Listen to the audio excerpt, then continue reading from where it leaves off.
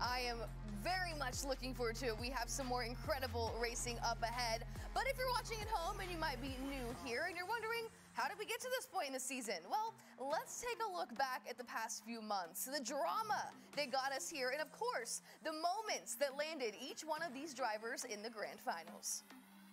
For motorsport enthusiasts, amateur and competitive drivers alike, the Logitech McLaren G Challenge has been the place to compete at the top level of sim racing since its launch in 2018. That's a huge slide, and I can't believe he managed to save that! Excitement and buzz swarmed around the series, from the white knuckle racing to the major prizes for those who could make it to the top. The winner of the Logitech McLaren G Challenge Finals is Brandon Abraham!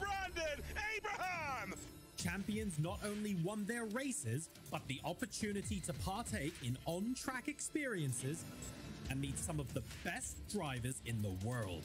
The heart pounding action and one of a kind prizes are what keep aspiring racers from all around the globe coming back year after year. 2021 was a year of rebirth for the G Challenge.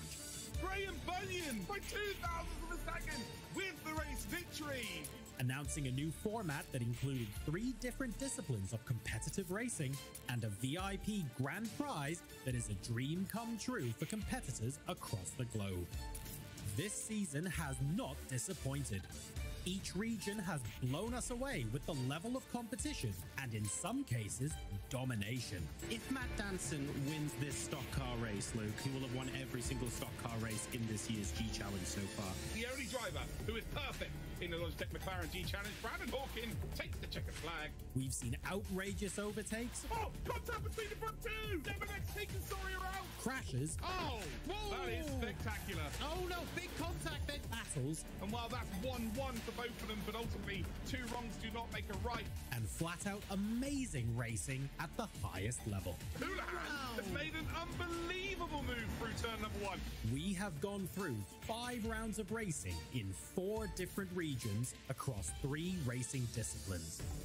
The top drivers from each round advanced to the semi-finals where they battled it out across multiple races to finally make it into the top 10 and proceed to the grand finals where everything is on the line. Now, the wait is over. The grand finals weekend is here, so strap in and join us as we crown our champions of the Logitech McLaren G Challenge. Get ready to race.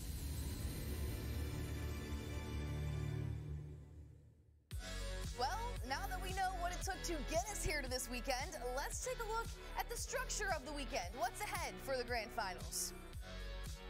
So each day we're going to highlight a specific challenge. We'll go region by region. Today, like I said, it's all about the sports cars. Tomorrow, though, it's all about the stock car racers, and we will end it with the open wheel racers on Sunday. Two rounds of qualifying with two races each.